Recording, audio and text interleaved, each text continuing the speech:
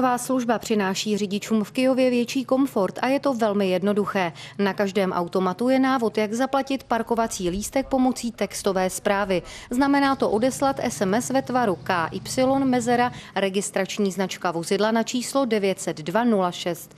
Po odeslání bude odečtena částka 15 korun za hodinové parkování a to do všech parkovacích zón, kde je možno zakoupit parkovací lístek z parkovacího automatu. Od 1.7. zavádíme službu, kdy je možno zaplatit parkovné pomocí SMS. To znamená, že v případě, že nemá dotyčný drobné, může zaplatit pomocí SMSky. Po případě, že automat nefunguje, to znamená taky, že můžu zaplatit SMS-kou, tím pádem se mě to načte, ať stojím kdekoliv v jakékoliv zóně. Přidáním písmene U do textové zprávy řidič obdrží upozorňující SMS o končícím čase parkování a je možné dalším odesláním zprávy jej o hodinu prodloužit z kteréhokoliv místa. Potvrzovací zpráva je elektronický parkovací lístek a lze jej uplatnit i jako daňový doklad po vytisknutí ze stránek www.parkovacílístek.cz. Kontrolu provádíme pomocí eh, přístroje, vlastně jedná se o chytrý telefon, eh, kdy vlastně služba obsluhuje přímo na místě, zjistí, vozidlo nemá parkovací lístek, eh, provede kontrolu na tomto telefonu a zjistí, zda je uhrazená SMS zpráva. Současně se zavedením nového způsobu platby bylo před polifunkčním domem na ulici Kolárova vyhrazeno šest míst, kde je možné zaparkovat nejen s parkovací kartou, ale nově také uhrazením SMS zprávy. Kijovská radnice ročně obdrží z parkovacích automatů částku okolo 3,5 milionu korun. Pravidelně každé dva měsíce se schází Združení pro rozvoj Šluknovska. Tentokrát to bylo v Jiříkovské restauraci Adriana. Združení tvoří 18 měst a obcí, dále okresní agrární, okresní hospodářská komora a tajemník. Starostové z tohoto regionu se snaží na svých zasedáních řešit nejpalčivější problémy, s jakými se potýkají zdejší obyvatelé. Dnes eh, jsme měli na programu hlavně eh, sociální politiku ve vztahu k seniorům, a další eh, důležitý bod, a ten už máme téměř celý rok, a je to situace ve Šluknovském výběžku. A musím říci, že nejsme spokojeni, jak se celá situace vyvíjí. K částečné nápravě bezpečnostní a sociální situace, které byly na Šluknovsku nevyhovující, došlo díky vydání obecních vyhlášek či posílení obecní policie.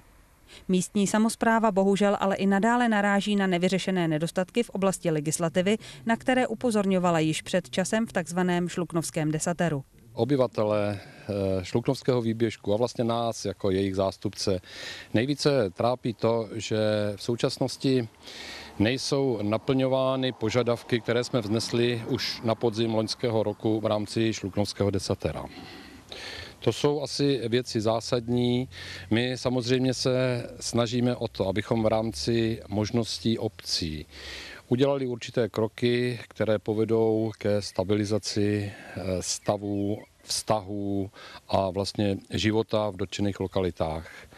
Ale zároveň bychom potřebovali, a to velice nutně a velice brzy, pomocnou ruku legislativy. Další kroky jsou tedy nyní na zákonodárcích. My jsme eh, před třemi týdny psali dopis našemu panu premiérovi.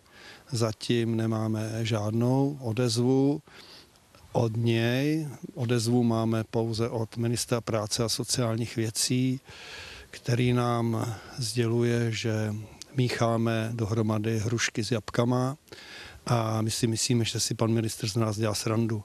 Eh, my totiž tvrdíme, že máme jeden státní rozpočet, eh, jednu hromadu peněz, české koruny. Starostům jde především o přidělení financí ze státního rozpočtu na zřízení dostatečného počtu míst pro veřejně prospěšné práce. Ty jsou totiž pro nezaměstnané motivační a díky nim si udrží pracovní návyky i po ztrátě zaměstnání. Nezaměstnanost je zde vysoká, kolem 15% v průměru, v některých obcích je to dokonce 20% Dále tu poukazují na to, že nelze ovlivnit výši příspěvku na bydlení. Ten je vyplácen sociálně slabším občanům bydlícím v bytech v soukromém vlastnictví a to prostřednictvím úřadu práce. Příspěvky jsou ale mnohdy neuměrně vysoké a pro některé majitele takových bytů se z toho stal výnosný obchod. Na Šluknovsku panuje v současné době velká nespokojenost s tím, že se zde nic neděje, že není žádná změna k lepšímu, a to jak mezi obyvateli, tak i mezi samotnými zastupiteli. Vláda nekoná, tak jsme se rozhodli, že 19. července symbolicky ve Šluknově na náměstí proběhne demonstrace starostů a místo starostů a zastupitelů, na kterou pozveme všechny lidi, nespokojené lidi Šluknovského výběžku, ale nejenom lidi Šluknovského výběžku, ať, přijde, ať přijdou všichni, co jsou nespokojení. 19. července budou do Šluknova určitě pozvaná média z celé republiky a nebude tam chybět ani naše kamera. Podle mínění jabloneckého magistrátu je umistování odpadu vedle kontejnerů na stanovištích separovaného odpadu v poslední době velkým nešvarem obyvatel města. Z tohoto důvodu město zakoupilo a aktuálně instaluje tzv. fotopasti. S jejichž pomocí bude možno identifikovat a následně pokutovat neukázněné občany. Já už jsem o tom mluvil několikrát, jsme poměrně nešťastní s tím, co se odehrává na stanovištích separovaného odpadu, protože někteří občané, samozřejmě nemůžu říkat všichni, někteří občané to vnímají jako si, jakousi veřejnou skládku a vozí tam úplně všechno. My jsme nevěděli, co s tím a teďka v těchto dnech instalujeme nové zařízení fotopasti, které budou mít online přenos pomocí GSM na městskou policii a tím pádem máme možnost vyhodnocovat a budeme vědět, kdo z občanů tam v podstatě skládá odpad, který tam nepatří. Jak to bude perzekuováno, tak samozřejmě ten občan, který takto bude konat, bude sankcionován. Já samozřejmě nejsem právník, já ty legislativní podklady nevím, ale tajemník úřadu už připravuje, aby byla provedena i řádná osvěta, aby občané věděli v podstatě, když budou takto konat, do čeho se pouští a co jim hrozí. Celá akce je plně hrazena z rozpočtu města. Jedno zařízení stojí 16 000 korun a v současné době jsou instalována čtyři. Jejich umístění je možné operativně měnit a město podle slov Miloše Veleho s rotací fotoplastí po jednotlivých stanovištích separovaného odpadu počítá. Jan Štol, televize RTM. V letošním roce to bude 20 let, co Vsetínská radnice založila společnost, jejímž úkolem je spravovat a hospodařit s městskými lesy. O stavu porostu a plánech společnosti se mluvilo na setkání se zastupiteli města. To bylo spojeno s prohlídkou po lesí. Městské lesy se rozkládají na 829 hektarech a gro těch lesů je tady právě v Semetíně. Jo, tady, je, tady je zhruba tři čtvrtě. Zbytek lesů je Horní Jasenka, Dušná, Janíšov a Lhota. V posledním období došlo ke změnám ve vedení společnosti, její organizaci a v celkové optimalizaci nákladů. Které provází vlastně celý provoz lesa. No a taky se upozorňujeme na to, že lesy máme v určité době eh, vytěžené poměrně na vysoké úrovni, takže teď musíme tu těžbu zpomalit. Těžilo se z toho důvodu, že, že ty lesy vlastně byly eh, vysazeny, dalo by se říct, eh, jednorázově v dobách před 110-120 lety firmou Tonet Jo, a vlastně ty lesy mají určitou životnost. I proto musí uvolnit místo mladší výsadbě. Tu si v podobě smrků, buků a jedlí pěstují v setinští lesníci v této školce. Nás také zajímalo, jak je společnost důležitá pro město z hlediska ekonomiky. Ono je to majetek eh, vlastně našich eh, předků, to především, a uchovává to majetek, eh, dejme tomu, města. No a v příznivé době, kdy máte les, který je přibližně těžitelný, smrkové lese to zhruba 90 let, tak je to samozřejmě i zdroj příjmu. I v minulém roce, přestože už byla omezena těžba, vytvořila společnost při správě lesa zisk. Za loňský rok jsme udělali čistý, čistý zisk po zdanění 720 tisíc, které jsme odvedli svému zakladateli, což je město Vsetín, ale je dohoda, že část těchto peněz půjde na opravu eh, lesních cest. Sledujete RTčko, zprávy regionální televize.cz.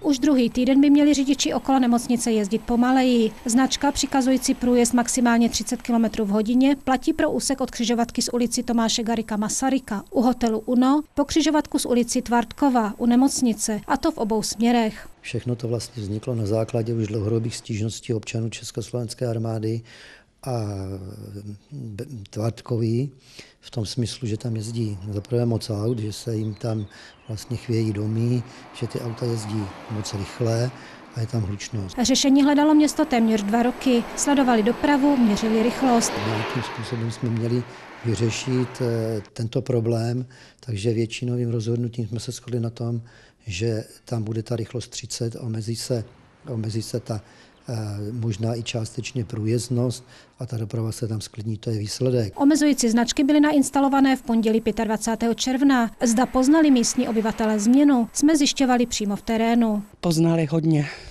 Ne, víte co, ono se, když jako jedou rychlejš, tak se ty baráky klepou a jezdí pomalejš, je to znát. Ještě by se to projevilo líp, kdyby tady byl přechod pro děti, pro starý lidi. Protože když tady byla padesátka, tak tady byly kolem, když tady je třicítka, tak tady jsou taky, že ale určitě je to bezpečnější. A co tomu říkají ti, kterým jsou příkazové značky hlavně určeny, tedy projíždějící řidiči? No, asi v pořádku, no, ne, neomezuje. Neomezuje, ale, ale chtělo by to nějak vysvětlit, proč je tady 30 km hodině. Jedu třicítkou, jak mě to nařizují a to je všechno. Z tohle hlediska, když jsou tam byla 50, tak myslím, že to je blbost tam dávat třicítku. Mimo kameru se oslovení řidiči zhodli, že je to celé o lidech a jejich ochotě respektovat příkazy v dopravě. Neukázněný řidič při rychlost nesníží ani kdyby byla přikázaná na 10 km v hodině. Jako trvalé opatření a z pohledu plynulosti dopravy obecně se jim ale třicítka pod nemocnicí vhodná nezdá. Říkali, že tady bude vůbec zastavený provoz, tak jako jako já to beru tak, jako, že tu třicítku to udělali teďka zbytečný, protože se to akorát zpomalí a a ty lidi, co tady budou, tak bude větší smog. Asi bych to taky dala rychlejš, no. A zase tady, se, tady ty autobusy teďka, to je docela šílený, jako s těma autobusama, jich projede prej děsně moc, jako říkají to lidi, co tady bydlejí. Nedomnívám se, že by to v této chvíli měla být nějaká přechodná záležitost, měla to být úprava trvalá, ale samozřejmě e, nic nemůžeme říct, že trvalý ho bude se to vyhodnocovat ty poznatky se budou sbírat a pak teprve rozhodneme. Městská policie se zatím nově přikázanou rychlost na ulici Československé armády sledovat nechystá. Měřit prý začne, až se řidiči se změnou zžijí. Na mantinely, do kterých celých 12 let naráželi hokejisté SHK Hodonín, si teď budou uvíkat hráči hokejbalu. Městská společnost Teza, která spravuje hodonínská sportoviště, totiž na zimní stadion nainstalovala mantinely nové. Důvodem byl nevyhovující technický stav starých bariér. Mantinely na zimním stadionu, které tam byly namontovány původně, když se dělala rekonstrukce zimního stadionu, tak jsou určené pro krasobruslení. Ty mantinely vzhledem k životnosti a vytíženosti toho zimního stadionu už mají svoje za sebou.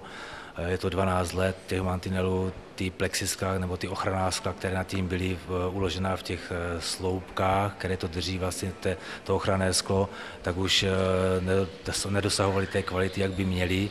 Rozcházely se ty sloupky a tam hrozilo vypadnutí toho skla. Pokud by 60-kilový mantinel spadl na člena hokejové přípravky, bylo by to už skutečně nebezpečné. Zakoupení nového zařízení bylo proto nezbytné. Teď jsou už na ledové ploše konečně nainstalovány odpovídající mantinely. Jsou to mantinely pro profesionální hokej, splňují, jsou certifikované, splňují pravidla mezinárodního hokeje. I staré bariéry ale nalezly své využití. Pro lední hokej jsou sice už nevhodné, hokejbalisté je ale uvítali. Mantinely se proto přestěhovali ze zimního stadionu na hokejbalové hřiště stadionu u Červených domků.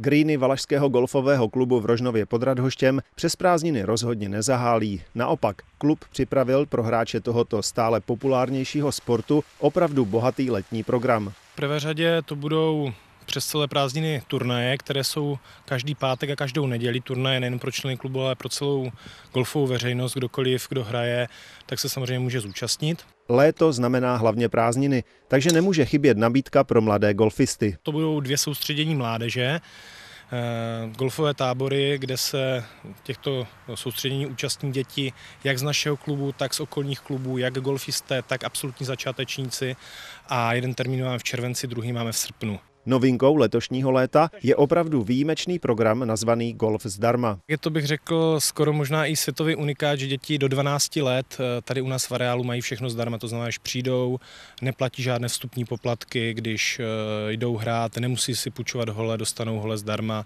a můžou si zahrát naprosto bez nějakých závazků nebo bez nějakých poplatků. Vrcholem léta budou dva velké turnaje, dvoudenní mistrovství klubu a turnaj mládeže.